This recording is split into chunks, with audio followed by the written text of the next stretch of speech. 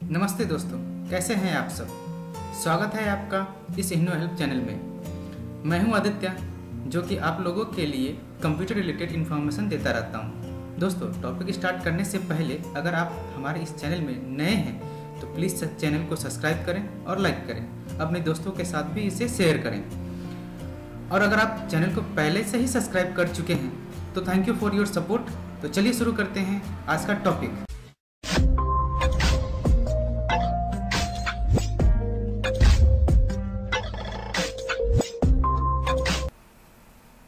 और आज का टॉपिक है टैली में लेज़र कैसे क्रिएट करें? तो चलिए दोस्तों स्टार्ट करते हैं। सबसे पहले आप टैली को ओपन कर लें। टैली ओपन करने के बाद एक कंपनी क्रिएट कर लें। देखिए, मैंने यहाँ पर एक द रोजियट लिमिटेड करके एक कंपनी मैंने ऑलरेडी क्रिएट करके रखा है। अगर आप कंपनी क्रिएट करने का वीडियोस देखना चाहते हैं तो मैं ऑलरेडी एक कंपनी क्रिएट का वीडियोस बना चुका हूँ। तो आप वहाँ पर जा कर के हमारे इनो हेल्प चैनल में जा कर के आप वहाँ से वो वीडियो देख सकते हैं। और उसके बाद इस साइड यहाँ पर गेटवे ऑफ़ टैली में मास्टर्स टैब के अंदर यहाँ पर आपको मिलेगा अकाउंट्स इन्फो अकाउंट्स इन्फो के में जाना है और इंटर प्रेस करना है। इंटर प्रेस करने के बाद आपको एक ऑप्शंस मिलेगा यहाँ पर लेजर्स उसके बाद लेजर्स पे क्रिएट करना है। लेजर पे इंटर करें। और यहाँ पर देखिए, दो तरह का लेजर्स दो टाइप का लेजर्स क्रिएट कर सकते हैं। जैसे एक सिंगल लेजर्स होता है, एक मल्टीपल लेजर्स होता है। सिंगल लेजर्स का मतलब होता है, मान लीजिए आपको एक एक करके लेजर्स आपको बनाना है, या एक आपको लेजर्स बनाना है तो आप सिंगल लेजर्स का यूज़ कर सकते हैं, या फिर एक ही साथ बहुत सारे लेजर्स आप बनाना चाहते हैं, एक या एक से अधिक लेजर बनाना चाहते हैं तो आप मल्टीपल लेजर के लिए आप यूज़ कर सकते हैं। उसके बाद क्रिएट पर इंटरप्रेस करेंगे। उसके बाद यहाँ पर आपका लेजर क्रिएशन का विंडोज़ ओपन हो जाएगा।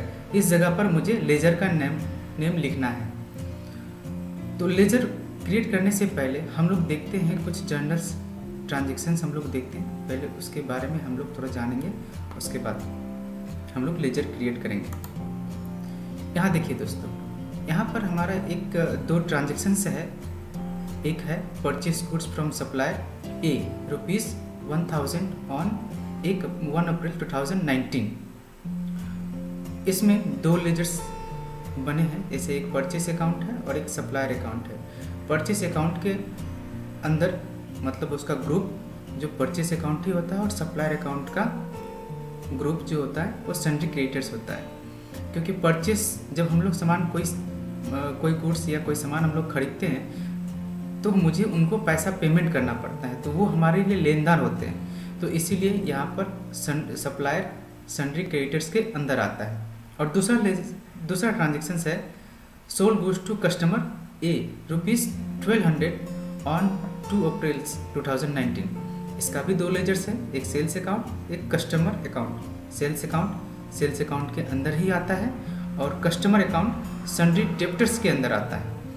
तो चलिए इसको हम लोग लेजर में क्रिएट करते हैं। कैसे क्रिएट करना है इसका लेजर तो सबसे पहले हम लोग देखते हैं यहाँ पर है purchase account purchase account purchase account के अंदर आता है। तो टैली ओपन करेंगे। टैली में यहाँ पर हम लोग नेम में लिखेंगे purchase account purchase account enter press करेंगे।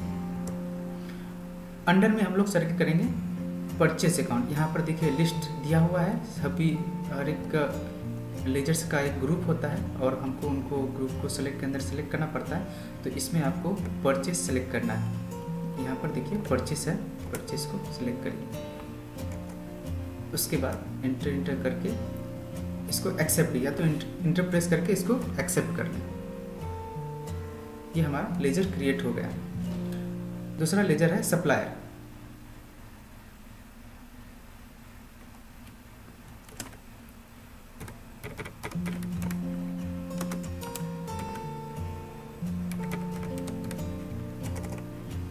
सप्लायर को हम लोग सन्ड्री क्रेडिट्स के अंदर रखते हैं। तो यहाँ से आपको सन्ड्री क्रेडिट्स सेलेक्ट कर लेना है।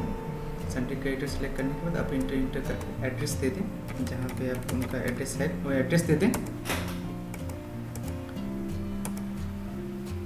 पिन कोड अगर है तो वो डाल सकते हैं। वैसे हर एक स्टेट का, हर एक डिस्ट्रिक्ट का पिन कोड होता है तो आप यहाँ पे ज़रूर डालें।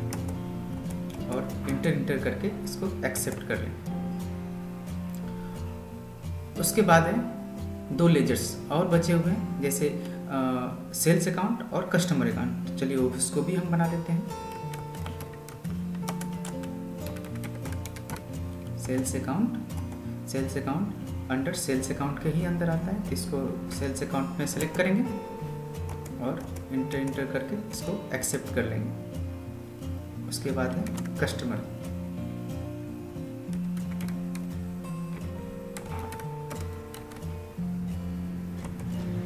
कस्टमर के अकाउंट का। कस्टमर हमारा संडे डेटर्स होता है, इसलिए इसको संडे डेटर्स के अंदर ही सेलेक्ट करेंगे। और इसका एड्रेस वगैरह जो होगा, वो एड्रेस डाल करके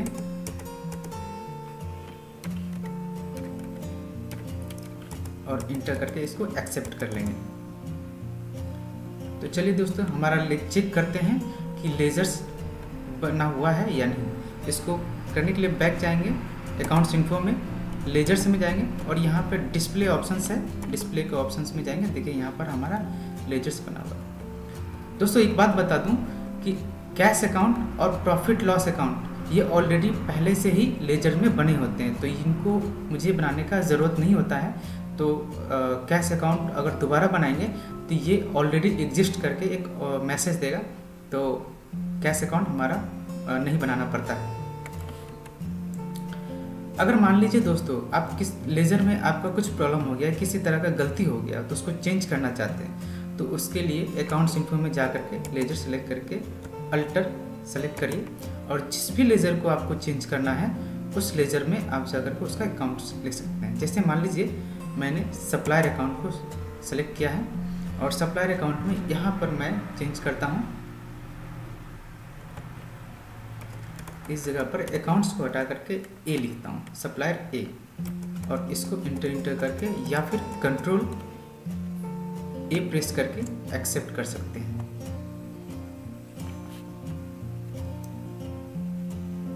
ये देखिए दोस्तों, हमारे पास लेज़र बनकर तैयार है। अगर आप क्रिएट कंपनी का वीडियोस देखना चाहते हैं तो आप हमारे ऊपर में एक आई बटन करके ऑप्शन आता है, उसमें क्लिक करें और क्रिएट कंपनी क्रिएट के वीडियोस का आप देख सकते हैं। थैंक यू दोस्तों।